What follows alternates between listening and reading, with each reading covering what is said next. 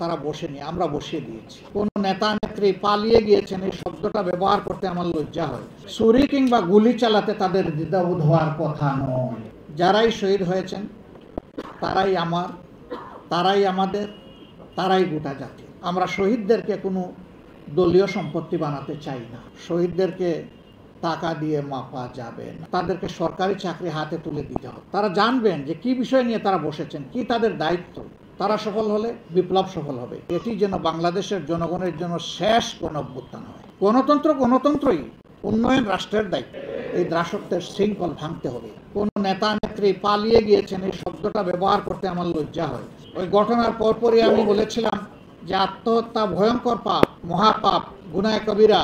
একদিক থেকে এটার একটা গুরুত্ব অবশ্যই আছে। ছুরি কিংবা গুলি চালাতে তাদের দ্বিধাবোধ হওয়ার কথা নয়। ধারাবাহিক এই আন্দোলনের শেষ পর্বে এসে কোটা সংস্কারের দাবিতে যে আন্দোলন গড়ে উঠেছিল, বৈষম্য বিরোধী যে আন্দোলন দানা বেঁধে উঠেছিল, এই আন্দোলনকে দমাতে গিয়ে গায়ের জোরে অতীতের মতো দানবীয় রূপে নিজ দেশের জনগণের অর্থে কেনা অস্ত্র আর বুলেট নিজ দেশের জনগণের উপর যারা ছুঁড়ে মেরেছিল,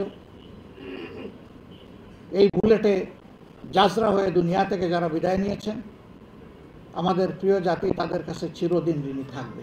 দেড় মাসের শিশু থেকে নব্বই বৃদ্ধ পর্যন্ত রাস্তায় নেমে যারা স্বৈরাচারের বিরুদ্ধে লড়াই করেছেন, আমি তাদের প্রতি গভীর কৃতজ্ঞতা জ্ঞাপন করছি। যারাই শহীদ হয়েছেন, তারাই আমার, তারাই আমাদের, তারাই গোটা জাতি। আমরা শহীদদেরকে কোনো দলীয় সম্পত্তি বানাতে চাই না। শহীদরা গোটা জাতির সম্পদ এবং তারা জাতীয় বীর। শহীদদের জন্য শহীদ পরিবারের জন্য সরকারের কাছে একটি কম্পেনসেশন দাবি করেছেন। আহতদের জন্য একটা দাবি করেছেন।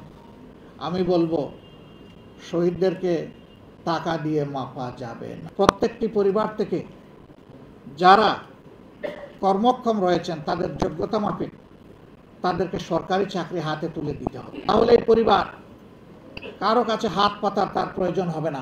আজকে যারা উপদেষ্টা পরিষদে এসেছেন এক ভাই বলেছে, যারা বসেছেন, না, তারা বসেনি, আমরা বসিয়ে দিয়েছি। গোটা জাতি তাদেরকে বসিয়ে দিয়েছে। কাউকে না কাউকে প্লেনের ককপেটে বসতে হবে প্যাসেঞ্জারকে ডেস্টিনেশনে নিয়ে যাওয়ার জন্য। এবং যারা বসবেন, তাদের ন হাও থাকতে হবে।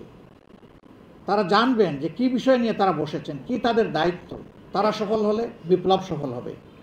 তারা ভুল করলে বিপ্লব ব্যর্থ হলে দায় তাদের উপরে অবশ্যই বর্তাবে।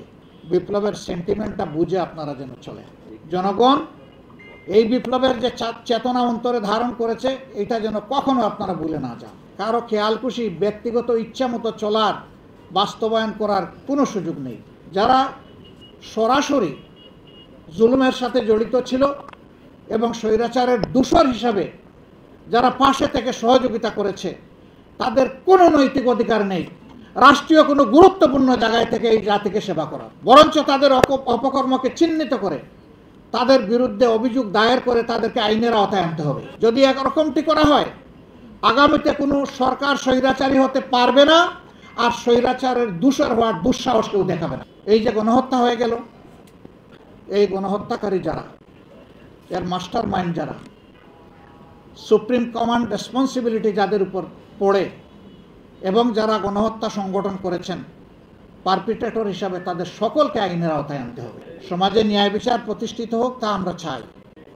এরা যদি রক্ষা পেয়ে যায়, তাহলে আগামীতে এই রাস্তা খোলা থাকবে।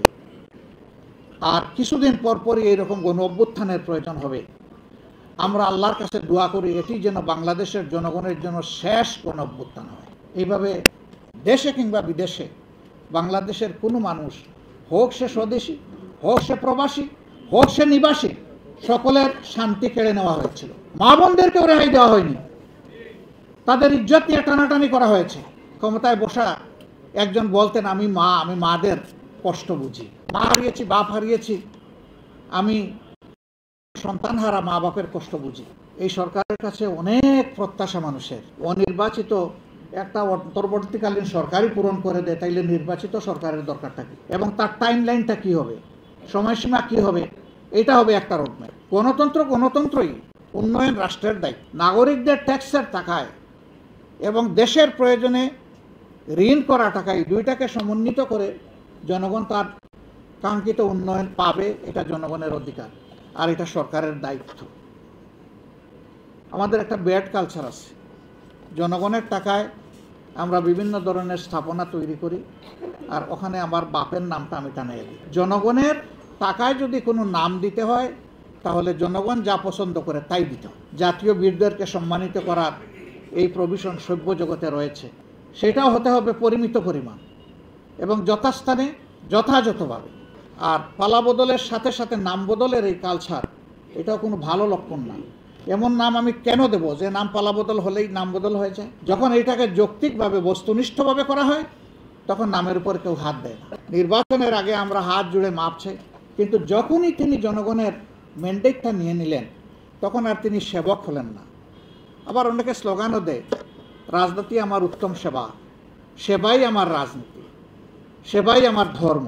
আধুনিক দাসে তারা আমাদেরকে পরিণত করার চেষ্টা করে এই দাসত্বের শৃঙ্খল ভাঙতে হবে।